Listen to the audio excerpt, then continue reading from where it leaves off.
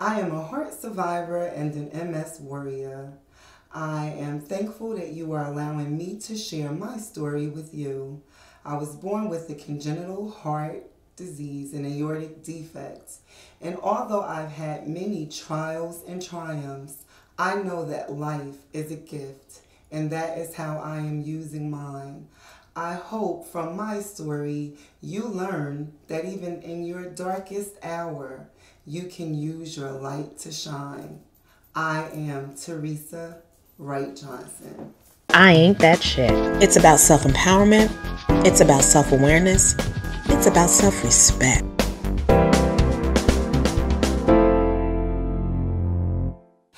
My name is Rae-Shan Nate', and welcome back to another fantastic episode of I Ain't That Chick. And you know, as I always say, I'm a firm believer that every woman has a story, and women empower women when we share our stories. So, with that being said, I do have another fantastic guest with me today. Please say hello to our audience. Hi, everyone. You guys, you've met Teresa, you've heard her intro, and we are talking about some serious subject matter. So, please, please, please ask someone to tune in. So, yeah. Teresa, you talked about heart disease in yes. your intro. And you know, the first thing I thought, and, and, and not to downplay the seriousness of your message, but heart disease, you know, when your heart is broken and you have those challenges, that's kind of where Nate was kind of going with that. Right. But you had heart disease at a young, at a young age? Absolutely. How old were you? Take me back into your childhood. Okay, from what I understand, when I was born, I was born with a heart murmur, mm-hmm. which you know was a lot. It was common, um, but with a heart murmur, you have to be monitored by a cardiologist. So I was monitored by a cardiologist from birth, and around one, my first year of life, um, my parents took me back to the doctor and they realized that I had a congenital heart defect, which was an aortic valve defect. Okay, wait, let me because the, like the doctor has told me, and you, you, my eyes just perked up when you said that because the doctor has told me to tell you have a slight heart murmur, right? And I just ignore it. And I think a lot of people probably just ignore it. Right. But now, were you experiencing any type of symptoms? No, I, I oh. was not. Well, and remember, I was an infant. Uh, right. And, you know, so a lot of this stuff is from my parents, right. their account. But what happened is um, when they heard it, you know, and in addition to the heart murmur, they kind of knew that there was something else going on. They just didn't know what. Mm-hmm. So they knew I had the heart murmur, but they knew that it was something else. And that's why they had to, I think, watch me even closer. Okay. Because remember, heart disease today and heart disease back 40 something years ago had a different, different look. Yeah. We didn't have as much technology mm-hmm. as we have today. You know, it was a lot of conditions were a lot harder to diagnose. And I think that's what my parents came up across. But my mom did tell me that from day one when they listened to me, they said, her heart is not normal. She has a heart murmur, and there's something else we have to figure out what it is. Yes. Okay. How long did it take them before they figured out what else was there? Uh, um, one, when I turned one, turned like my first year of life. Okay. Mm-hmm. And what did they say? That's when they diagnosed me with a, a, aortic valve defect, which meant my aortic valve was not pro- pro- functioning properly. Okay. And so at one years old, how does that, according to your parents, because you're one right. you don't really remember, how does that affect you at one years old? Well, it's funny because at one I thrived like a one year old. Um, what I find out now, or what my parents said, is that I was a very fussy baby. Mm-hmm. I cried a lot. And you know, people just think, well, she's crying a lot because she's spoiled, you know. Right. And right. I, I could have been a little bit spoiled because I was the baby, but yeah, mm-hmm. being held and all of that. she was. She was. I'm just saying. So you know, they just said you she may be spoiled, but we find out later that maybe those cries were coming because there actually was some discomfort. okay. going on. A one year old or two year old, they can't tell you. Express it, right? They cannot tell you. They right. don't. They don't know. Right. So all they know is they don't feel well or something doesn't feel right. Right. So I just think about this. I think about. I think at that time when I was diagnosed, I really think the burden was on my parents mm-hmm. because now they know that this, their child has this problem. Right. And now what are we going to do? Now what's going to happen to her? Mm-hmm. So at one, you know, at one and two, from from what I could recall, I don't recall anything different. Right. But I'm sure if you spoke to my parents, I'm sure they'll tell you, you know, maybe they were frightened, you know, maybe they they leaned harder on their faith, you know, mm-hmm. they you just don't right. know their story, but even going around now doing this advocacy work, I find that I'm very connected to parents that have children yeah. with heart disease because you, as a parent, want to know what is going to be the trajectory of your child's life. Right, right. You right. don't, you know, don't know that. You don't know that. So when you see someone like me and you see that, you know, I've lived and I've lived well and I went to school and had a career and I'm doing all of these different things, you know, they're like, wow, thank you. They want, I would imagine that they gravitate towards you because back then, I, I would, when you were a, a child, I would imagine your parents getting this news, they're probably thinking, I don't know how long my child has Absolutely. to live. And that's frightening. Absolutely. Are you the only child? Absolutely not. There were five of us. Five of you. Are there you the only child that had a heart? I am the only child that had a congenital heart disease. Two of my sisters, from what I understand, were born with heart murmurs. Okay. But they went away. Okay, they went away. Yeah. So now can well we'll, we'll get into that. Take okay. me to the when Teresa became aware, like, hey, uh, you know what, something is wrong. I, I don't I hate to say wrong, but something is different. How old were you, and what what did you experience? Take me back to that day. Okay, uh, when I first realized that I had a problem probably was around kindergarten or first grade. Okay, well, that young. Yes, because now you're in grade school, mm-hmm. and there were certain activities that maybe I couldn't participate in. And even at five year, you'll be surprised at the recollection mm-hmm from a five year old. And I just started remembering going back and forth to the doctor, back and forth to the doctor.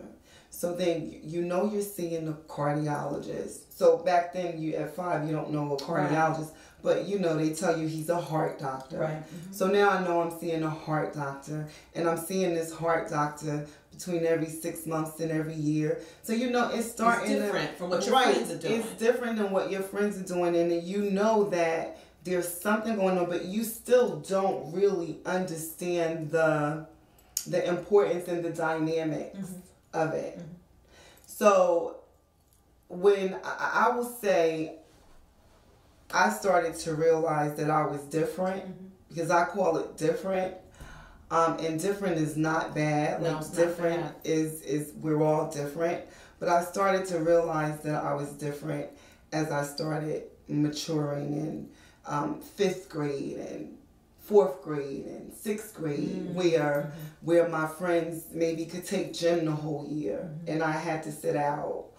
Or did you, you have to sit out gym completely? Yes, I, I sat out gym. Um, I participated sometimes depending on what was going on medically. Other times I couldn't take it. Did you want to take gym? Because I never wanted to take gym. You did? Yeah, well, when you when, when you're, you're, deprived of something, you, yeah. and you know it looks it's the fun. world. Yeah. Yes, I never like changing into that uniform. I didn't want to put it on. I didn't want to be bothered. Uh, I did. I, I wanted like I wanted to participate, and I don't know if it was that I wanted to participate in gym just I just wanted to do what my friends were doing. So, and speaking of your friends, how did they react or respond to you not being able to do what they were doing?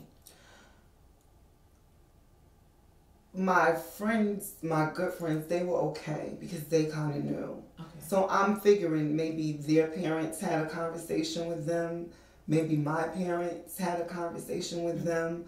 But the truth is, people can have all the conversations they want.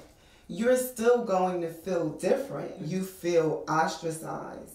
And I remember it's a couple times that I would sit on, you know, the side and I would just watch and I would just say, wow. So what my school did, um, well, I had a nurse and I always had really good teachers mm-hmm. and, and I was very close to my school nurse who has since transitioned. But I worked in her office during my gym period and she would just give me little jobs to do, mm-hmm. you know, just to keep me busy and, and just to keep me encouraged and just to keep me occupied. And that has been the story of my life. Mm-hmm. I have always, always had great support systems uh, within my family, you know, and within school. Mm-hmm. So my school was well aware of my condition, and instead of trying to exclude me, they tried to include me. Awesome, yes. beautiful. And then also in high school, was it the same? High school, it, it was the same. Yes, my my school staff were awesome. Because then you're dating also in high school, right? Some of us, right? Well, uh, you know, I was daughter of a police officer. Oh. Oh. But you know, I, I, you're right. We were dating in high school. Moment of silence for all the, the young men that admire you, and they knew. They woo. Okay. Well, you know, you go through the ups and downs and the highs and lows of being a teenager, but I think those were my toughest years, and I'm going to tell you why. Mm-hmm. I had my first open heart surgery in the eighth grade. Eighth grade? How do you how do you I, I want to ask you how do you mentally prepare for open heart surgery? Or who who prepares you for that? Eighth grade. You i remember that day. Every surgery i had i remember the day like it was yesterday. But i remember going to the doctor and i remember my doctor saying to me we have a problem then he asked me to step outside. He spoke to my parents. Now, what I did know from growing up with this, you learn to read doctors' faces, you learn to read their reactions, mm-hmm. you know, and you don't realize this, but you start to have some anxiety. Absolutely. Yeah, and you don't realize it at that time, but you know, it's like, okay, well, when I go here, what am I going to hear? Better or worse? Because you know that's all you're going to hear right. because this never goes away. Right. So it's either going to be stable or it's either going to be worse. Mm-hmm. So this particular year, it was worse. Mm. And I got referred to uh, Mount Sinai in New York, where I am now. I've been there since I was an adolescent. Okay. And um, my my doctor, who I just lost him a few years ago, and it was so difficult because he literally grew up right. with me. He knows your history. He literally grew up with me, and and I, I have a great, great doctor now. He's stellar too in the field, but my childhood doctor that accompanied me, um, when we had that conversation, he said, "Kiddo." You know, we we have we have to have surgery. And this is in eighth grade. This is in eighth grade, and I remember my parents' faces. And pardon me if I get a little choked up. I remember my parents' faces, and um, I said surgery, and a couple days later we met with a consulting team, and mm-hmm. they told me what I would expect and what we could expect and I think the most alarming for me was knowing that it could go either way. Mm-hmm. Did your parents prepare you for that back then? Or is it something you just knew? Uh, prepared me for it going either way. Yeah. Prepare me for death. The possibility of it. My family and my parents are very spiritual. Mm-hmm. So God was always mm-hmm. an integral part of my life. Mm-hmm. Mm-hmm. My parents never prepared me for death. We did not speak that. Mm-hmm. they spoke life into me. Amen. And purpose. Amen. And they said, listen, you're going to be here. Ooh, that gives me goosebumps. It Did. And God is going to cover you. And then I had my doctor who said, listen, she has the best surgeon. I'm going to be right in there with her. She's going to get mm-hmm. through this. And I'm going to dance at her wedding. And he did. He was there at my wedding when I married my husband. But it was, it was difficult. So mm-hmm. going through that, so now you're already going through puberty. Right. So you have all of these hormones. So even now on top of these hormones, now you have this illness, pain healing from surgery, psychological issues from the event itself, right. and knowing that you have this. And then now you have this reminder mm-hmm. that is there, which you already felt different, but now you really feel different because it's right here where everybody could see. So it was a really, really, really tough time. Mm-hmm. You said uh, one of many surgeries. How many surgeries have you had over your lifetime? I've had two open heart surgeries. Um, my last surgery was not open, meaning they didn't cut my chest bone open for this last one, but I had a pulmonary valve replacement for the third one. And chances are there will be more. I just, you know, my mind is trying. I, I you know, I'm in, in talk speaking with you. I'm still, I'm in eighth grade with you, and coming out. How do you recover? What's what's the recovery like? It was horrible. It's very painful. Mm-hmm. Um, again, my parents were right there with me. Mm-hmm. Uh, you know, if I'm uh every uh or ah or oh my god, mm-hmm. you know, my mom was right there, my dad was right there, and what happens is because you don't feel well mm-hmm. and because you are starting to realize that you're different because mm-hmm. you know you're going through puberty everything is changing right. your body is changing your yes. looks are changing everything is changing so like literally your self-esteem plummets it does yeah. and i can remember um, as i was healing and going through this and going into high school I was very self conscious mm-hmm. about my scar. Mm-hmm. And you know, my my mom, I'll never forget this because I was sort of having what I call the breakdown.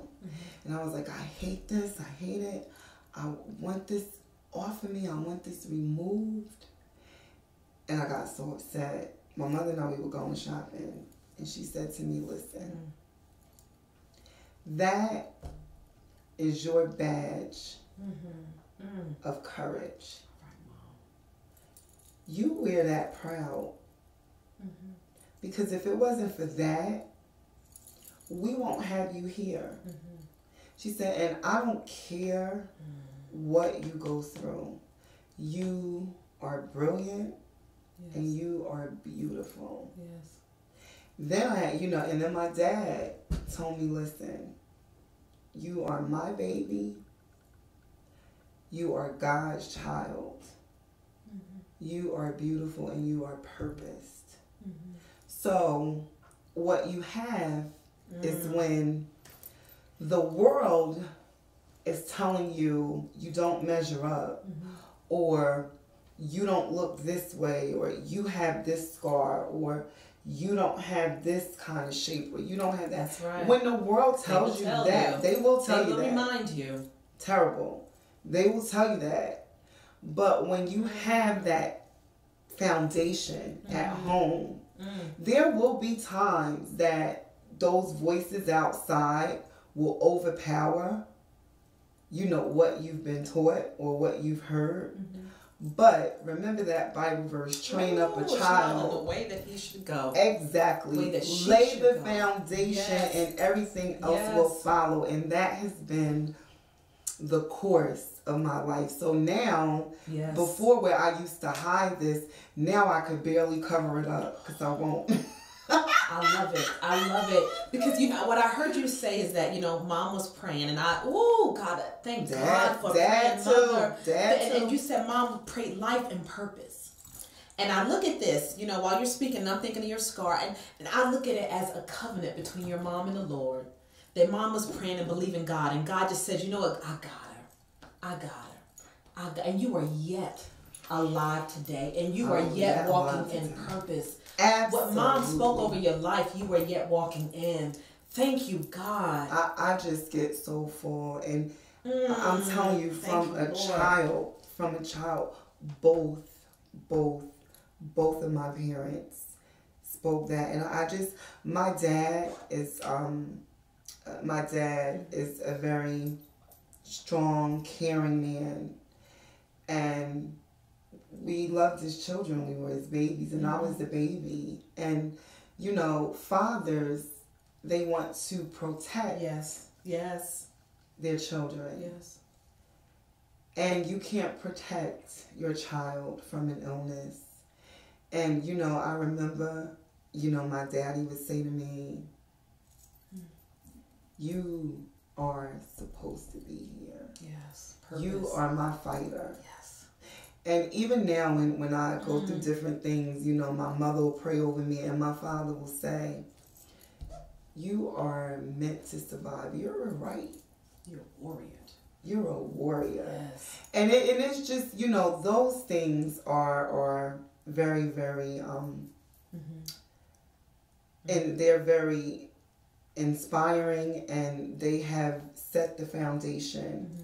for who I am as a woman today before I went on that gurney uh, mm-hmm. for that first surgery at 12 my mm-hmm. mother prayed with me all night. We stayed at the hospital prayed with me all night. And one of the prayers that I, I had to learn to recite was the 23rd Psalm.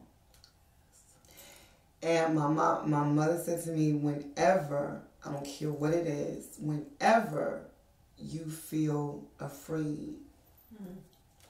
You recite this because mm. God has you covered. Cover. Yes, and my, my dad and her, we went walking down there praying, and they went praying with me, and Ooh. my dad said he will never forget. I was leaving. You know, they were pushing me in. This is really, I'm really gonna get torn up. They were pushing me in, and both parents were grabbing my arms. And my dad said, I looked up at him, and I said, "Don't worry, Dad. I'll be okay." And you know, they let go. And even at that young age, I just had this spirit of peace mm-hmm. cover me. And in this day right now, when things get a little too much, or when I get discouraged, I know how to go and seek that place of peace. That's beautiful. Yes. Now, I, I always like to, I'm crying. I always like to get the story outside of the story. And so before we wrap up, you're walking in purpose. You are now an advocate. So tell us what it is that you do and what it is that you are. You're sharing a message. You're you're literally yelling out there, not verbally, Right. but just your presence. What are you doing now? So many things. Um, I, I have a passion for health. I have a passion for women's rights. I have a passion for children. And I have a passion to inspire people to reach their full potential because I believe that everybody has a purpose. Yes. So what am I doing now? I am I'm a heart advocate where I talk to people about taking care of their hearts. 80% according to the American Heart Association, 80% of cardiac events could be avoided just by lifestyle changes. Lifestyle changes, as in what? Will we eat, exercise? Eat, exercise, proper medical care. And although I'm not a medical professional, I am someone who had lived with this disease my entire life, and I've been blessed to still be here. Yes. So it's my calling to take this message and to take this word and to spread it because we don't have to die. Heart disease affects one in three women. They said one in three women will die or suffer a heart or stroke emergency. And we don't it's, it affects all of all us, us, men and women. Mm-hmm. It does. This is not to exclude anyone. Right. This is right. not to exclude anyone because it affects all of us.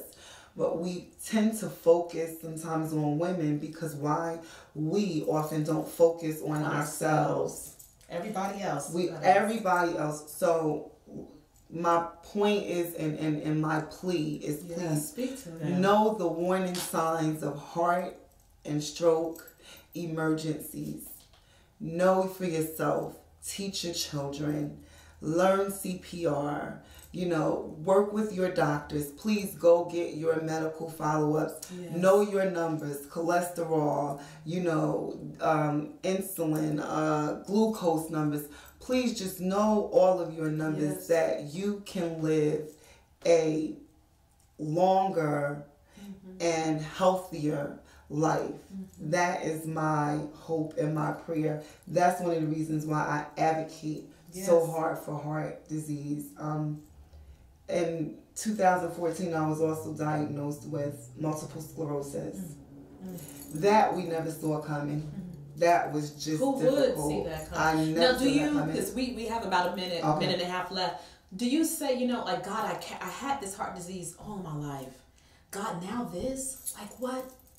What? How does that? What do you Absolutely, I, I say that. I ask that. I have those moments, but then, like I tell you, I go to that space or my husband will say to me, who's been a great support, Thank I love him to death. Yes, he, he's awesome.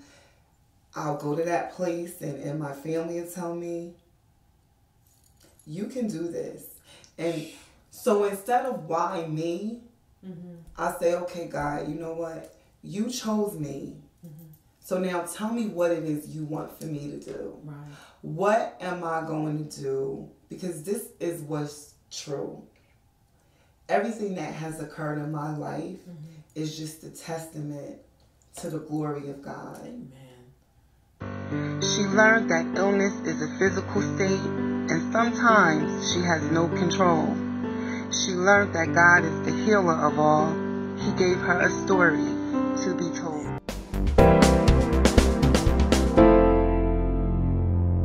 Want to find out more about I Ain't That Chick? Visit our website at www.iaintthatchick.com.